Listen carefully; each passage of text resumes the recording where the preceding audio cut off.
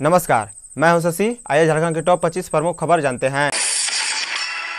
Jharkhand DGP को मिला दो साल का एक्सटेंशन। झारखंड के डीजीपी नीरज सिन्हा को दो साल का एक्सटेंशन मिल गया है। श्री सिन्हा अब 11 फरवरी 2023 तक राज्य के डीजीपी बने रहेंगे।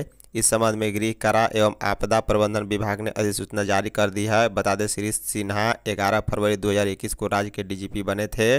जारी अधिसूचना में कहा गया कि सुप्रीम कोर्ट में पारित आदेश के अनुसरण में संघ लोक सेवा आयोग द्वारा गठित इम्प्लेनमेंट समिति द्वारा अनुशंसित पैनल से महानिदेशक एवं पुलिस महानिरीक्षक झारखंड के पद पर नीरज सिन्हा को नियुक्त किया गया है।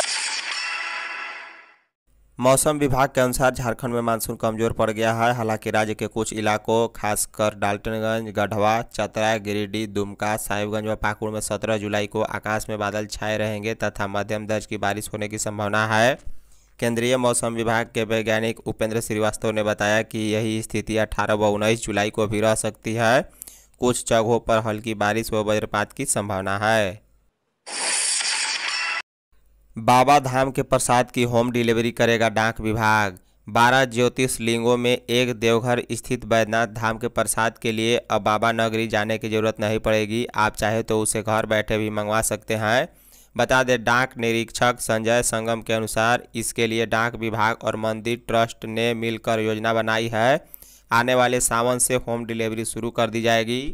प्रसाद पाने के लिए आपको मंदिर ट्रस्ट की वेबसाइट पर ऑनलाइन आवेदन करना होगा। 48 घंटे से बहत्तर घंटे के भीतर डाकिया प्रसाद लेकर आपके घर पहुँच जाएगा। खेल घोटाला।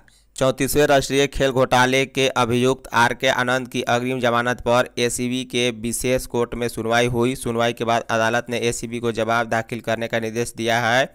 इस मामले में अगली सुनवाई 31 जुलाई को होगी। बता दें आर के आनंद ने याचिका दाखिल कर अग्रिम जमानत मांगी है। सुनवाई के दौरान आर के आनंद की ओर से अदालत को बताया गया कि इस मामले में कोई संलिप्तता नहीं है। उन्हें फंसाया जा रहा है। टेंडर में हो रही गड़बड़ी की उन्होंने शिकायत की थी। रजरप्पा मंदिर में उमड़ी भीड़। कोरोना महामारी को लेकर पिछले करीब तीन माह से प्रसिद्ध सिद्धपीठ राजरप्पा स्थित छिन्नमस्तिका मंदिर में आम श्रद्धालुओं के लिए पूजा पाठ बंद है। बता दें, शुक्रवार की सुबह से ही राजरप्पा मंदिर परिसर में मुंडन के शुभ मुहूर्त होने के कारण अपार भीड़ उमड़ पड़ी। इस दौरान कोविड प्रोटोकॉल के तहत शारीरिक दूरी का पालन कहीं भी नहीं हो रही है।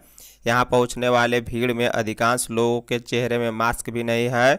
बता दें, सुबह के दस बजे से रजरप्पा मंदिर ओपी पुलिस भीड़ को काबू में नहीं कर पा रहे हैं। झारखंड की गठबंधन सरकार की नई औद्योगिक नीति से नौकरियों के अवसर बढ़ने की संभावना। झारखंड की गठबंधन सरकार नए रोज़गार सृजित करने की दिशा में गंभीरता से काम कर रही है। बता दें, नई औद्योगिक नीति इसका ताज़ा उदाहरण है। राज्य में निवेश कैसे बढ़े, नए उद्योग कैसे आए, कैसे ज़्यादा से ज़्यादा नौकरियों के मौके बने, इन सभी बातों की औद्योगिक नीति में चिंता की गई है। मुख्यमंत्री हेमंत सोरेन ने इस वर्ष को नौकरियों का साल घोषित कर रखा है। उनकी सोच को अमली जामा पहनाने और धरातल पर उतारने के लिए राज्य सरकार के अलग अलग विभागों में रिक्त करीब डेढ़ लाख पद भरने के साथ ही निजी क्षेत्र की नौकरियों में अस्थायी युवाओं के लिए आरक्षण के प्राविधान सहित तमाम अन्य तरह के जतन किए जा रहे हैं। ई पोर्टल बंद। कैसे पढ़े गरीब छात्र? छात्रवृत्ति से वंचित छात्रों के अधिकार को लेकर गुरुवार को छात्रवृत्ति अधिकार मंच ने राजधानी के जयपाल सिंह मुंडा स्टेडियम के समीप प्रदर्शन किया। प्रदर्शन में कई जिलों के छात्र शामिल हुए।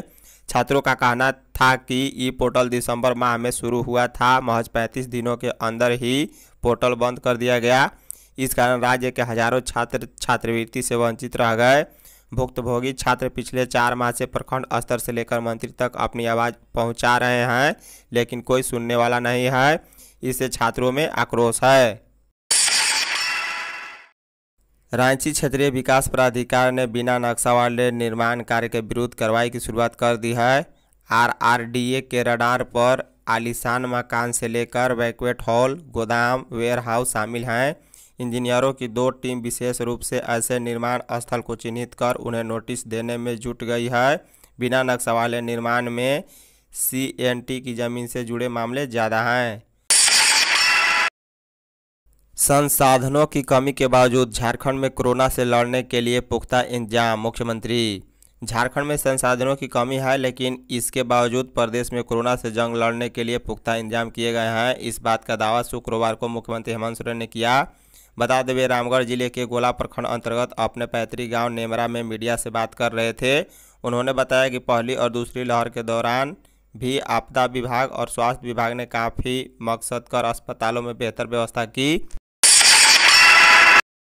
झारखंड में पचपन नए केस मिले हैं, जो रांची से सात, पूर्वी सिंहभूम सत्रह, बोकारो तीन, धनबाद एक, रामगढ़ दो, पश्चिमी सिंहभूम चार, कोडारमा दो, पलामू तीन, देवघर तीन, गुमला चार लातेहार तीन कढ़वा एक, लोहरदगा दो, जामतड़ा दो, दुमका से एक मरीज़ मिले हैं। झारखंड में कुल एक्टिव केस की संख्या 340 है। भारत में अड़तीस हज़ार एक सौ नौ नए केस मिले हैं। भारत में कुल एक्टिव केस की संख्या चार लाख चौदह हज़ार तीन सौ इकसठ है।